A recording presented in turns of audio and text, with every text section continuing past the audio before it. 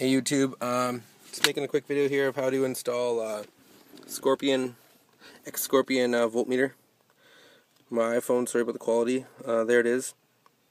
Uh, what you got to do for the Hyundai Accent, you got to ground it. I have an Alpine KTP or uh, four or four four five, whatever, and uh, you ground the black wire. Got to rip apart the dash a little bit. Here, let me turn on the camera.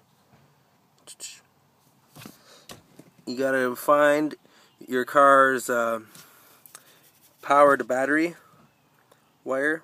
Mine is uh, black and green. Splice that, and you shall get this. So now, I turn on my car see a reading of 12.7. you go, 14.4, 14.5 uh, at idle. It's about as high as they go. Not too hard, not too tricky. Follow the right instructions and uh, what you're doing, everything should be easy. There you go.